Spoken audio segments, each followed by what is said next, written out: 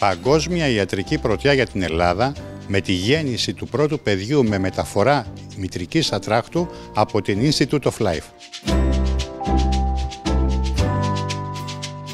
Καταρχήν να πούμε ότι είναι μια πολύ χαρούμενη ημέρα για μας.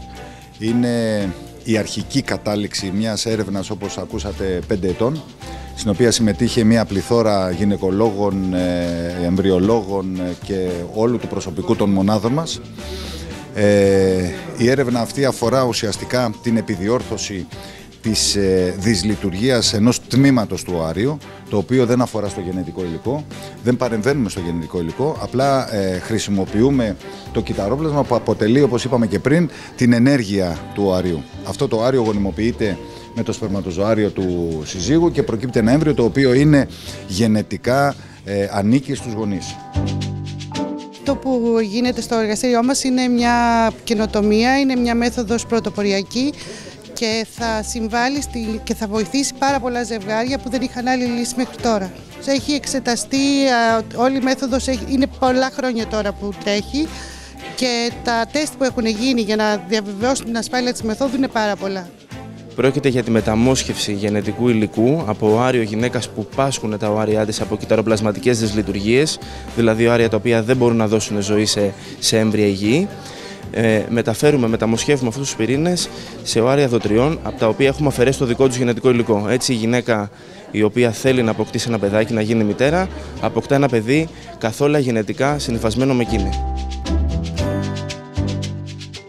δείχνει ότι η Ελλάδα διαθέτει και το δυναμικό και τον εξοπλισμό τόσο σε ε, ανθρώπινο όσο και σε εργαστηριακό επίπεδο για να πρωτοπορεί στον χώρο της υποευθυμένη αναπαραγωγής και να γίνεται δικαίως πόλο έλξη για ζευγάρια από όλο τον κόσμο που πιστεύονται τους Έλληνες γιατρούς και τους Έλληνες εμβριολόγους για να αποκτήσουν ένα υγιές παιδί.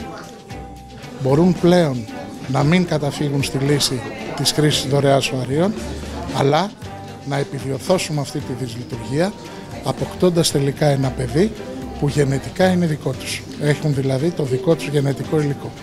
Με ιδιαίτερη δε χαρά ανακοινώσαμε και τη δεύτερη εγκυμοσύνη, μια γυναίκα 39 ετών με ένα βαρύ ιστορικό υπογονιμότητας, έχοντας πραγματοποιήσει 7 διαφορετικές εξωσωματικές προσπάθειες εξωσωματικής γονιμοποίησης σε τρία διαφορετικά κέντρα και τελικά διανύει αισίως την ένατη εβδομάδα εγκυμοσύνης της και ελπίζουμε όλα να εξελιχθούν ομαλά όπως και με την πρώτη ασθενή μας. Αυτή τη στιγμή δεν μπορούμε να ανακοινώσουμε ποσοστά επιτυχίας καθώς μιλάμε για πειραματική μελέτη, μιλάμε για κλινικό πρωτόκολλο και μόλις ολοκληρωθεί θα είμαστε σε θέση ακριβώς να πούμε ποσοστά επιτυχίας και σε ποια ηλικιακού γκρουπ πραγματικά η μέθοδος αυτή μπορεί να δώσει λύσεις. Εδώ και 40 χρόνια που γεννήθηκε το πρώτο παιδί, δουλεύουμε με ένα ποσοστό αποτυχίας περίπου 70% σε όλο τον κόσμο.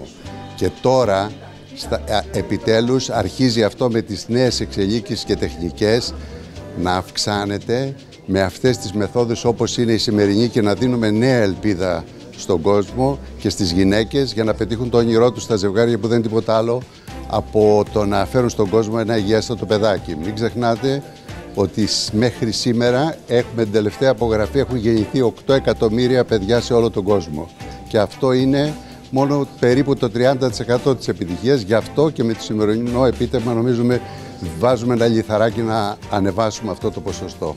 Πολλοί επιστήμονες, ε, όλοι, όλοι του Institute of Life, από την Ισπανία, από την Αγγλία και από όλο τον κόσμο πάρα πολλοί ειδικοί εργάστηκαν για να έρθει αυτό το σημερινό αποτέλεσμα το όνειρο έγινε πραγματικότητα. Τόσο για γυναίκες με σοβαρά προβλήματα γονιμότητας, όσο και με γυναίκες που φέρνουν σοβαρά νοσήματα στην οικογένειά τους. Αυτά βέβαια είναι σπάνια. Στο μεγαλύτερο ποσοστό αφορά γυναίκες με σοβαρά προβλήματα γονιμότητας που σε άλλη περίπτωση θα καταφεύγαν σε δανεισμό οαρίων.